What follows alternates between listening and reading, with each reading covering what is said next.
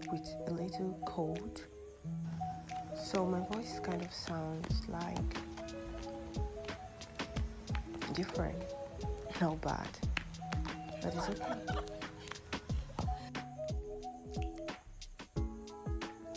So, you guys know how when you are sympathizing with someone and so it just feels wrong to eat in front of them or put up any act that might show enthusiasm towards life, not to talk of happiness.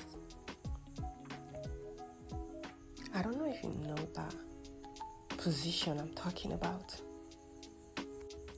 I have been in that feeling for some days, you know, feeling guilty to be happy when there is so much going on around you.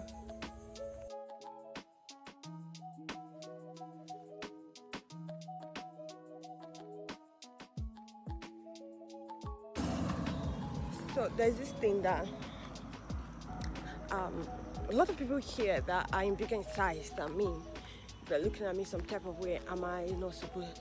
Am I not supposed to be here? Must I be? Must I be huge to come and run? I'm sweating, but I don't know what's their point. But that's just by the way.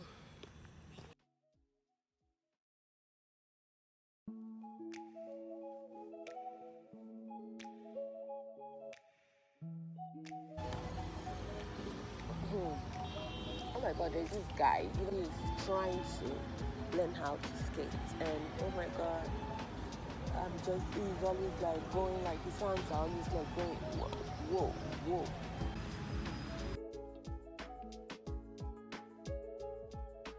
I'm like, please don't fall down.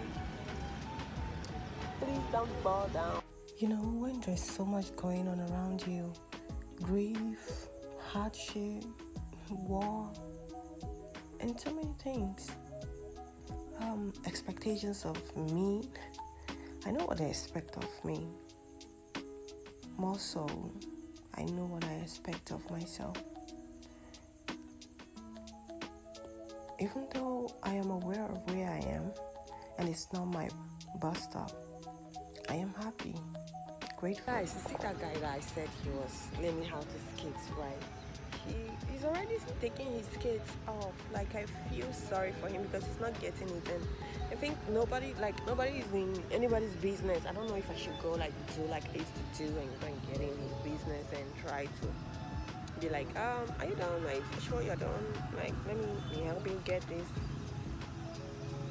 But something's telling me to mind my business. Uh-uh. Even to wear this thing, this guy is, is falling sick.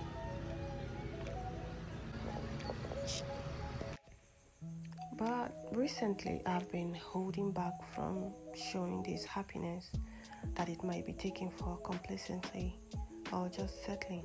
I don't know, that thing that restrains me. But it all comes from judgment and guilt like, how dare you be happy? This situation, you know. So anytime I go out to run, there's a feeling I'm trying to shed off.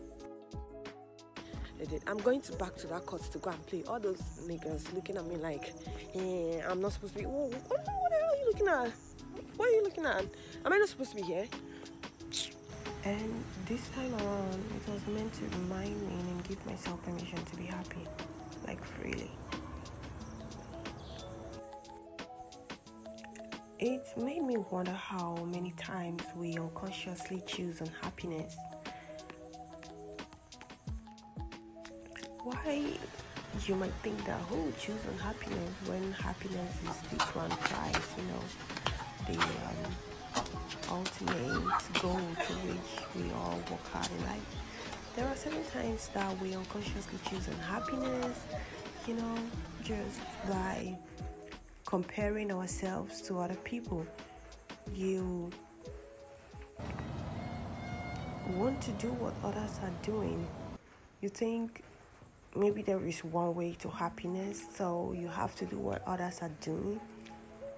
On the contrary, we all can be happy in our diversity, yet we try so much to copy, choose what is working for other people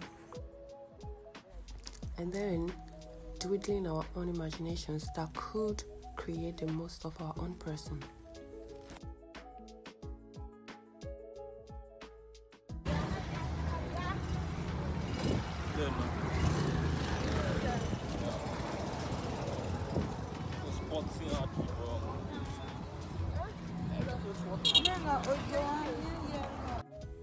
And while you might find yourself unhappy from time to time, it's okay.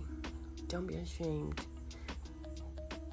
It's not a permanent situation either. It's how we are structured, and that's why we need to intentionally find our way back to happiness, reminding ourselves of the things that matter.